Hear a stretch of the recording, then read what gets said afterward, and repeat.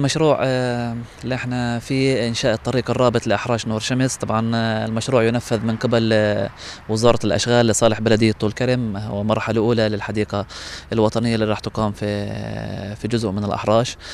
طبعا وزارة الأشغال بتقوم على تنفيذه. بتكلفة تقدر ب 500 ألف شيكل أو يزيد. مش المشروع الأول اللي وزارة الأشغال بتقوم على تنفيذه. تنفيذه. طبعا في عبارات عبارة آه، الميجا وعبارة كتابة وعبارة آه، آه، شارع فرعون وبالإضافة لعبارة مدخل عبارة عزبة شوفي قامت الأشغال كمان بتنفيذها لتهيئتها لاستقبال ظروف جوية صعبة. طبعا معدات الأشغال اشتغلت جنبا إلى جنب مع معدات البلدية في تنظيف وادي الزومر. وكمان في عندنا مشاريع وادي التين لسه شغال.